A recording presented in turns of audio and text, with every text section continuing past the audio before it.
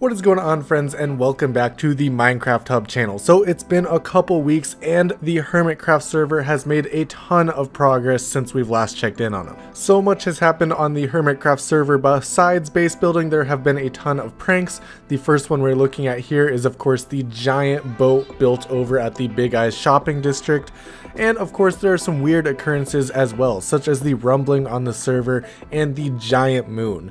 There's definitely some huge things about to be happening on Hermitcraft.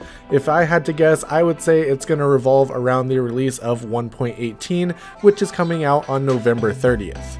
Nothing's for sure though, we can only wait and see. Let's now check out some amazing builds on the Hermitcraft server. First up, you can see here B-Dubs built a shop in the shopping district, or I guess a few shops specifically for Etho's since he's known for shopping so much at all the shopping districts. They were actually fairly smart about this shop and started selling boats that they got from the uh, boat bomb prank, and they also were selling TNT as well. B-Dubs has also been working on his own base. He put in a bunch of farmland around his base. He likes to farm his stuff manually just because that kind of keeps him entertained with the game. He also decided to put in a brand new building over here, which I think looks amazing. I love this combination of all the blocks that he used. It really fits in, of course, with the moon and the rest of the builds over in this area. Next up, DocM has been doing a ton of work. This right here is the chunk suppressor he built, which does most of the magic for him uh, when he's teleporting by dropping paper or having infinite rockets. Whatever it is, this chunk suppressor is usually the cause of it but he wanted to make it look a bit nicer so he built the Shadow Dome, which was actually a super impressive way of covering up this monstrosity of rails and redstone. I really can't imagine how long it's taken to mine all the deepslate and copper that they've been using in their projects throughout DocM and Rendog's base. Next up, False Symmetry has been doing a ton of work in her area of the world. She's added multiple new buildings over here and even added some more on top of the floating island. I'm really loving the way that her area of the world is coming along. She of course built these in the same style as her starter base, using a lot of mushroom blocks, a lot of red combined with the white and wood. It's really a very cool look and should definitely make a very cool area once she does all the builds that she wants to do in this area. The flying island of course was looking a little plain on top before, so of course she added in some texturing on top, a bunch of trees, and a build that fits in with the area below. So now it really looks like this chunk of land was ripped straight out of the ground even though that it had buildings and trees on top of it, which I think it looks even more amazing now. Gemini has been doing some detail work on her woodland mansion, adding a ton of birch on the outside which I think gives it a really nice texture. She also worked on a new enchantment room for a Woodland Mansion. I think this is a super cool design using the chains to float the bookshelves off the ground around the enchantment table. This is definitely a super cool design and super unique. She also did a shader look at her whole area so far. Of course, she's got her starter house, her custom trees, and of course the Woodland Mansion as well as her shopping district. Definitely a lot going on in this area. Some amazing builds so far this season. I'm really happy that Gemini was able to join Hermitcraft this season, and she's done a great job of building some amazing stuff so far. Next up, the Boatem crew has been doing a ton of work on their bases, of course, but they did come over and prank the Big Eyes shopping district by building a giant boat over the shopping district, which gave a huge shaded area so that mobs can spawn and fill the boats that they had already left with the boat bomb. Unfortunately, this has already been taken down, but it was a very cool prank and I'm glad to see that Grian actually did help clean it up since they did build this right over their shopping district. Grian has also been working a lot on his base. He's built up a huge portion of the Midnight Alley, which I think looks really amazing. This new build that he included on the right side looks really incredible with all the diagonals and everything that he included in it. This right here is a build that is going to lead to the darker section of the alley, which Scar is going to work on, as Grian said, so I'm really excited to see what Scar decides to do in that portion of the base. This build is really coming along. I'm absolutely loving the Midnight Alley so far. He's also done some work on texturizing the outside. Him and Pearl actually worked a lot on this.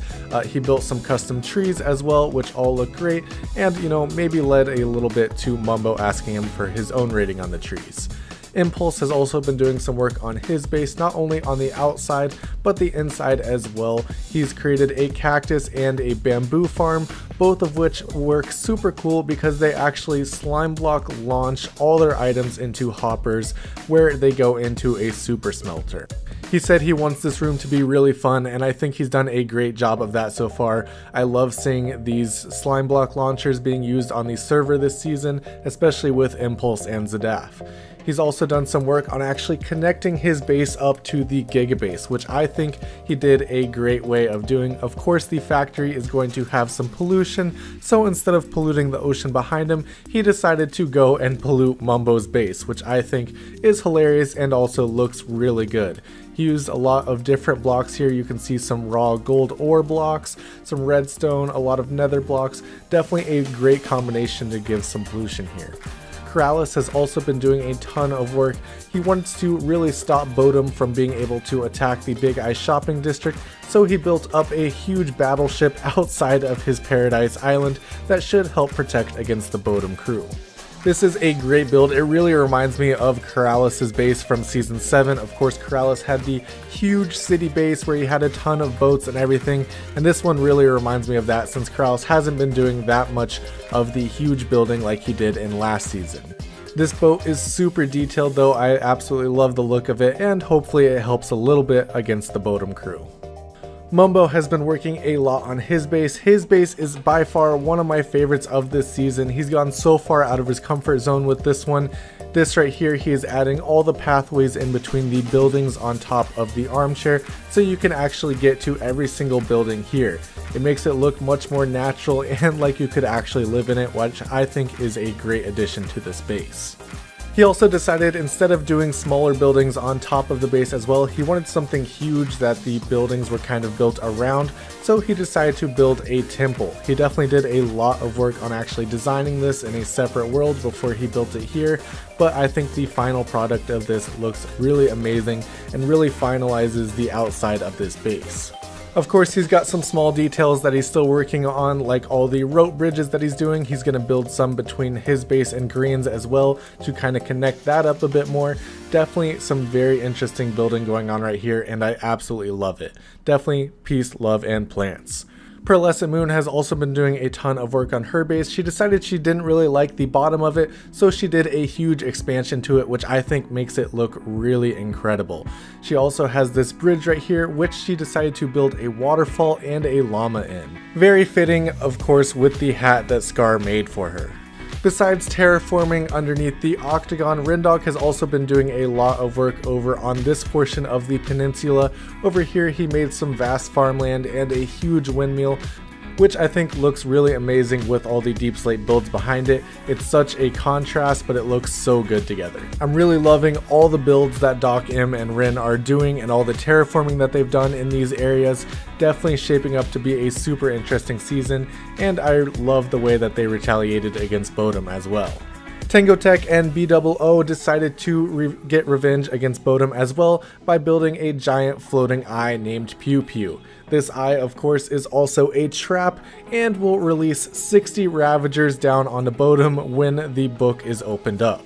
While the prank itself was not only hilarious, I absolutely love the way that Tango did redstone for this project. He decided to do some technically wireless redstone by doing redstone through the nether, which is absolutely genius. He decided to use a dispenser or a dropper that would throw an item through the nether portal and then activate a series of redstone there, which would then trigger another dropper which would activate an item inside the eye and then release the ravagers down onto Boatem super cool redstone, definitely one of my favorite ideas so far this season. And if you haven't seen any of the Boatem videos yet, definitely go check them out. The prank has already happened and it was absolutely hilarious to watch. Welsknight has finally done some progress on his megabase as well. He's been away for a while, but he's come back to the Hermitcraft server, and as you can see, he is on the inside of that giant floating island that he built, and he's actually working on some actual pathways and things that you can walk on inside of here. I'm super excited for Welsknight build. I absolutely love the huge floating island, and I'm really excited to see everything that he does with it.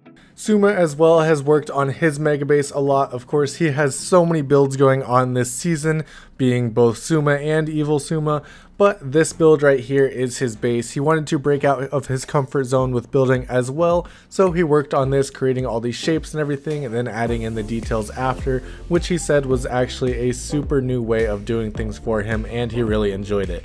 I think this build turned out amazing. Of course, he's got so many builds over here that look great.